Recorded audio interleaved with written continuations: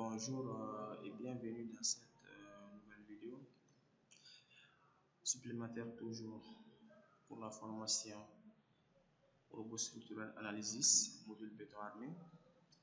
Donc dans cette vidéo nous allons voir ensemble comment bien sûr avoir une idée sur les dimensions ou les sections des différents poteaux du, du projet.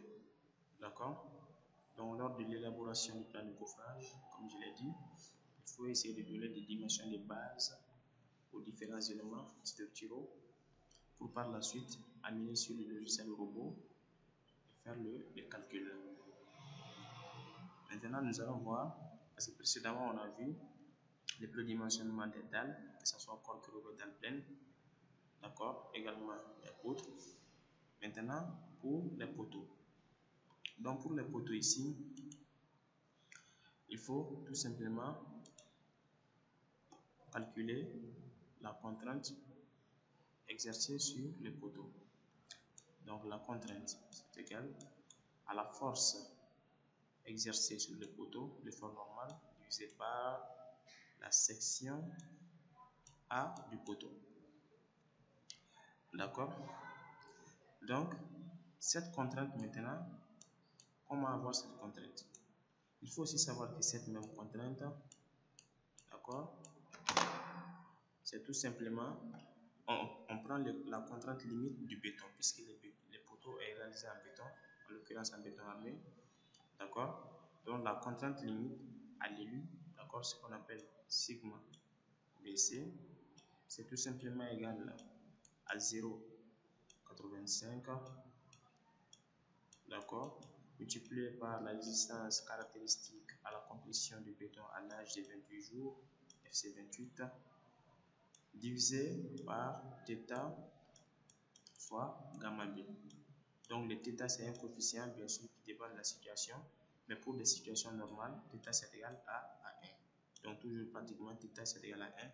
Et gamma B c'est un coefficient de sécurité relatif au béton, donc c'est de 1,5. Mais pour l'acier, gamma S, ça fait 1,15. D'accord? Donc, ça, c'est un peu la contrainte. Donc, pour une résistance caractéristique de 25, de 25 mégapascal, c'est qui est le cas le plus courant, généralement.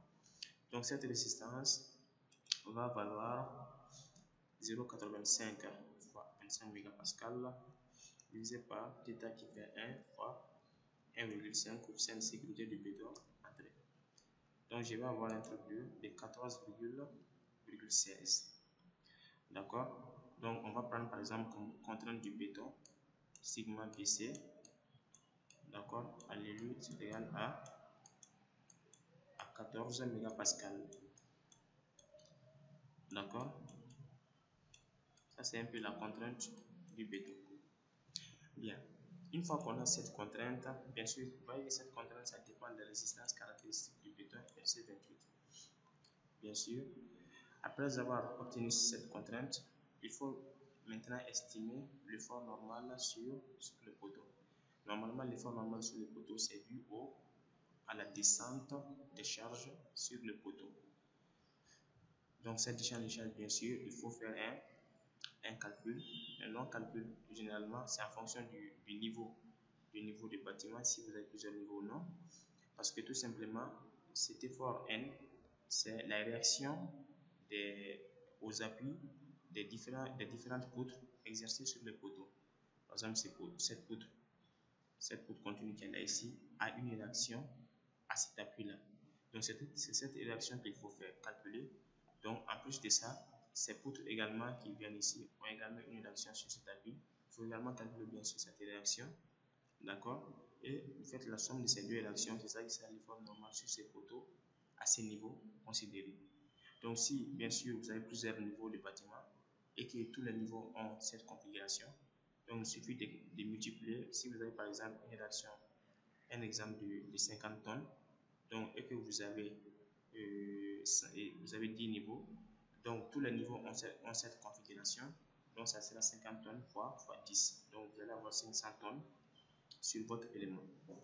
D'accord? Donc, ça, ça reste un calcul de RDM qu'il faut réaliser parce que c'est tout simplement la, valeur de la réaction aux appuis à, ce niveau-là. Donc, il faudra élaborer le schéma statique de ces poutres, d'accord, en élaborant la charge linéaire appliquée sur la poutre calculée, ainsi de suite pour trouver les réactions à ce niveau-là. D'accord? Ou bien, ce que les gens font surtout pour faciliter un peu les choses, c'est d'essayer tout simplement de prendre la moitié ou bien le quart de ces panneaux-là ici. On prend la surface totale de ces panneaux. Par exemple, si ça fait, si ça fait par exemple 4 mètres carrés, un exemple, donc on divise par 4, donc ça fait 1 mètre carré ici. Là ici aussi, si ça fait par exemple 8 mètres carrés, donc on divise par 4, ça fait 2 mètres carrés. Là ici, si ça fait aussi 4 mètres carrés divisé par 4, ainsi de suite, là ici. Et tout simplement, on va avoir, des, on va avoir 4 surfaces. Un quart de cette surface, plus un quart de cette surface, plus un quart de cette surface, plus un quart de cette surface. Donc là ici, on va calculer la somme des surfaces on fait la somme de ces quatre surfaces. Supposons on trouve par exemple 5 mètres carrés. Donc quand on a ces 5 mètres carrés, il faut estimer les charges permanentes et d'exploitation sur, sur chaque côté.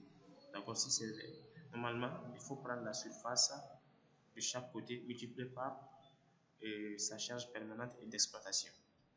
D'accord? Le G et le Q. Bien sûr, le G qui est tout simplement le cumul du poids propre de la dalle, les charges des revêtements, du carrelage, des, enduits, ainsi de suite. Donc, ce sont des petits calculs de, de charge qu'il faudra réaliser pour trouver la charge surfacique sur chaque panneau.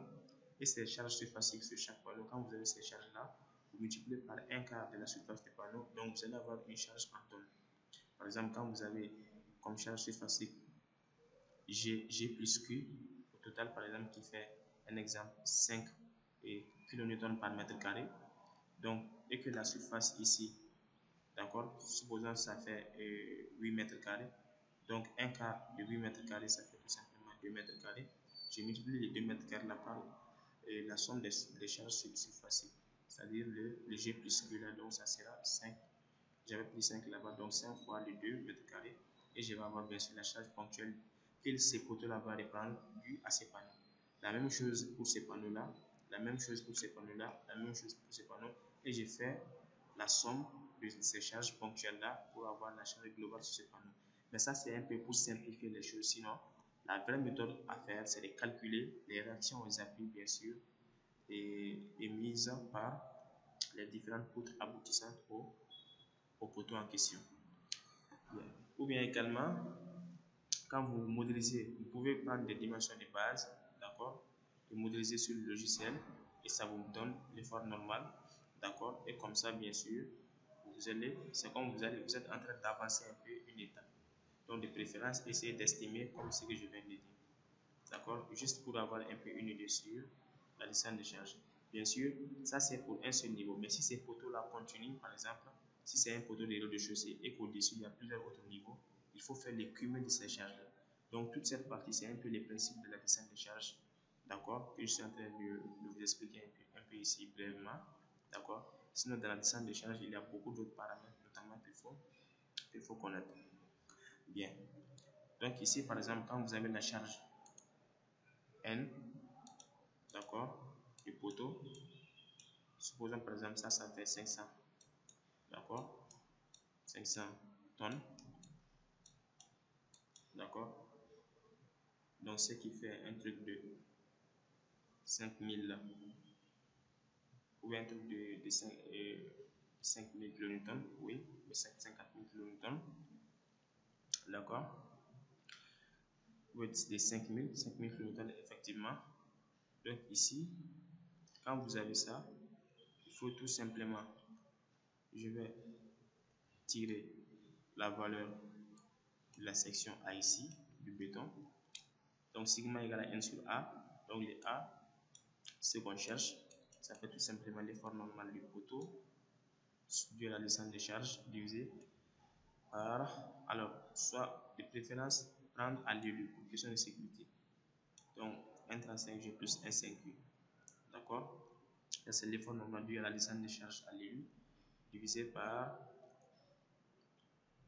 la contrainte du béton sigma BC à l'élu. D'accord? Donc, une fois que bien sûr vous avez ces éléments. Par exemple, là ici, vous avez, je vous montre, on a 500 tonnes. à ce niveau-là. D'accord? Donc, tonne ici, 1 méga, 1 mégapascal, ça fait 1 méganewton par mètre carré. D'accord? Donc, il faudra essayer également de convertir la charge en, en méganewton. D'accord? Et ça, c'est un peu pour uniformiser les unités. Donc, une tonne, ça fait 10 puissance moins 2 méganewtons. Donc, 500 tonnes, ça fait tout simplement 5 méganewtons. D'accord? Divisé par 14 mégapascal ou bien 14 méganewtons par, mètre carré. D'accord? Bien sûr, on va trouver ici la section du bouton en mètre carré. Donc, je viens ici. Je prends tout simplement la calculatrice 5 divisé par 14 c'est 0,3. Donc, on a ici par exemple la section du poteau qui fait 5, 5 14e, mais 0,3. D'accord? 0,3 ou bien 5 14e. Donc, je prends ici, je laisse 5 14e. D'accord? En mètre carré, bien sûr. Donc, ça, c'est un peu la section du poteau qu'on a eu. Maintenant, si on veut avoir un poteau carré, d'accord, un poteau carré ici,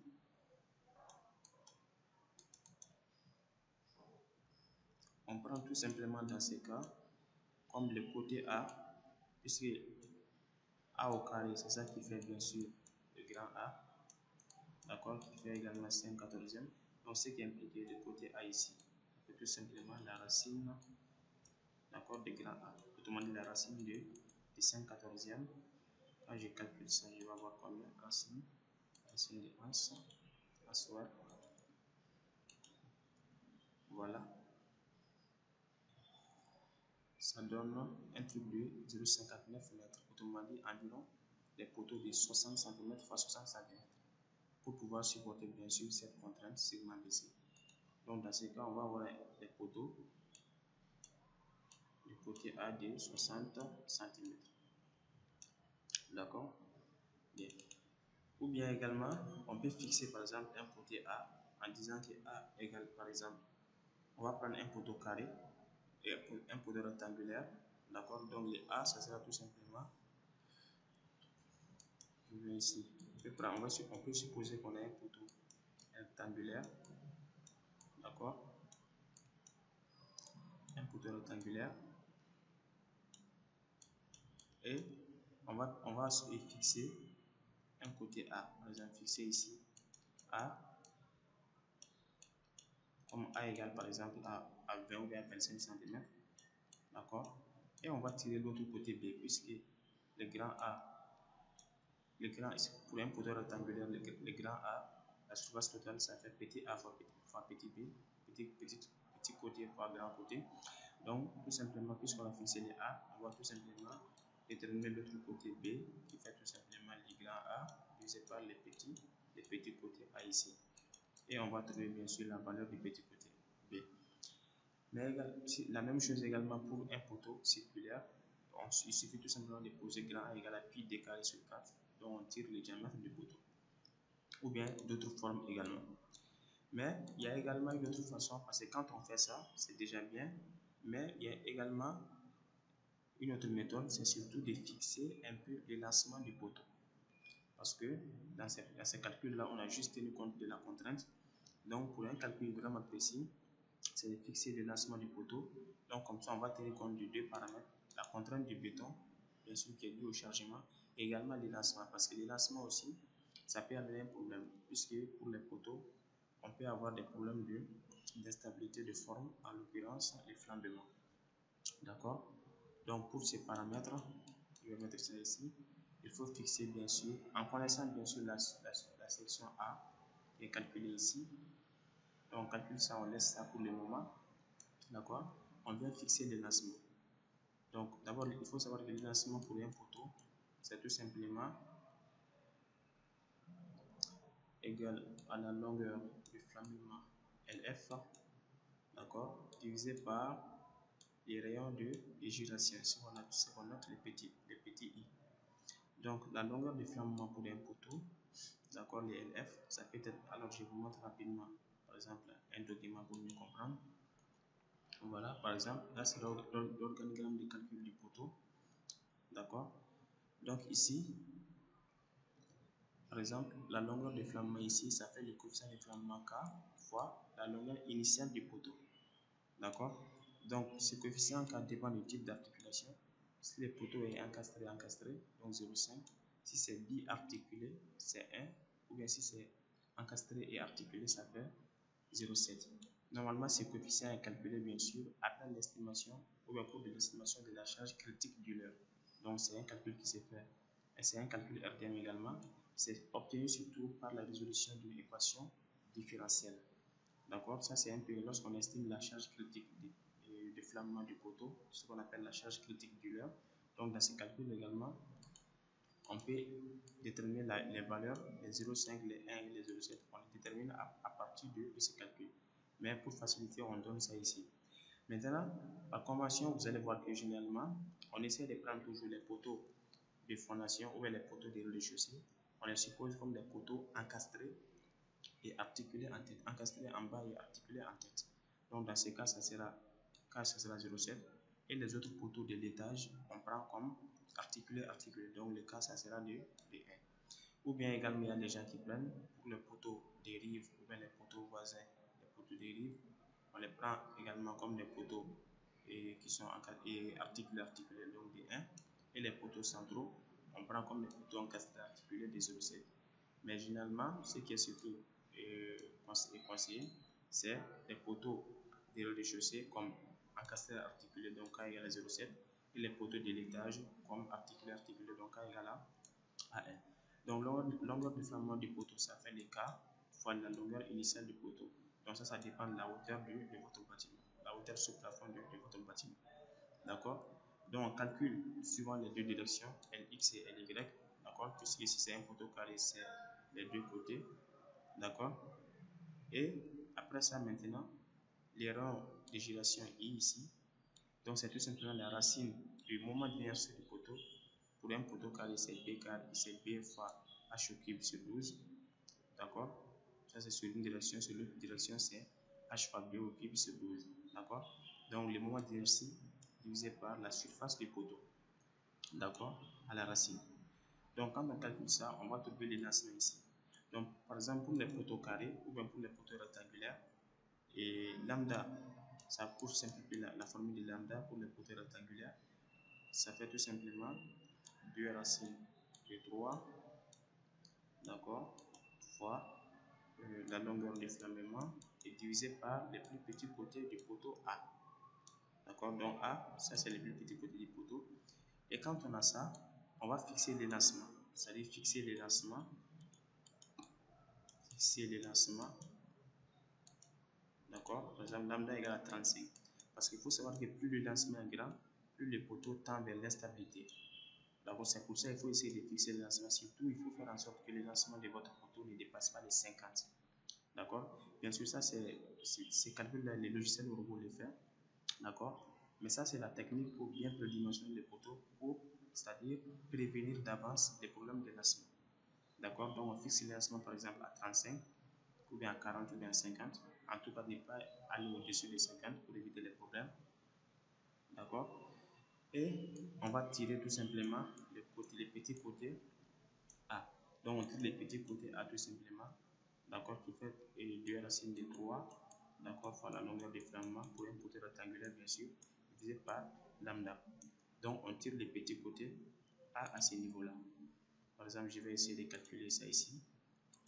Donc 2 racines de 3 multiplié par, supposons un poteau qui fait 3 mètres de longueur, D'accord Et je divise par le lancement qui est de 35.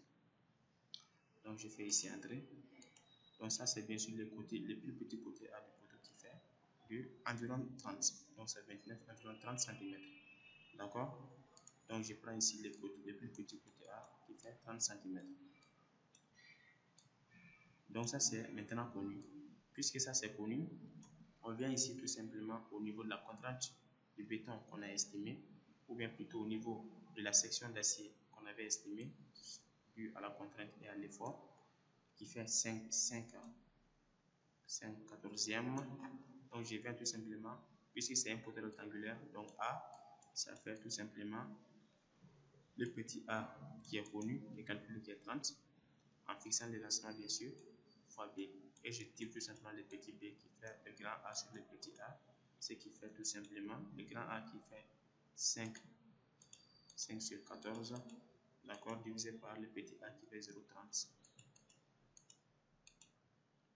Voilà. Et j'ai un poteau, vous voyez ici, c'est jusqu'à plus d'un mètre. Donc ça, c'est un poteau rectangulaire qui est là. D'accord? Donc pour... Vous allez voir que quand vous multipliez A fois A fois B, ça va donner toujours les 5 quatorzièmes. Donc vous avez vu la, euh, la première partie, on avait fixé les poteaux carrés, c'était de 60 fois 60. Et là ici, puisqu'on a fixé un poteau de 30 fois 40, donc ça sera un peu comme un, un petit voile. D'accord? Donc de préférence, essayez d'uniformiser les poteaux si on, a, si on peut avoir des poteaux carrés. Souvent, on sera amené à faire des cas comme ça, puisque sur des plans archi, l'architecte ne va pas nous, nous, autoriser à faire des poteaux carrés pour ne pas gêner la circulation par exemple. Donc on sera amené par exemple à faire des poteaux. Il va fixer le côté A et maintenant c'est en fonction de la section qu'on a trouvé due à, à, la contrainte et à l'effort qu'on calcule bien sûr l'autre côté comme ce que je viens de faire. Bien. Donc ça c'est également la technique de prédimensionnement des poteaux, d'accord, qui est également très important. Parce que quand vous maîtrisez un peu ces parties, ça vous permet bien sûr de bien optimiser votre, votre projet.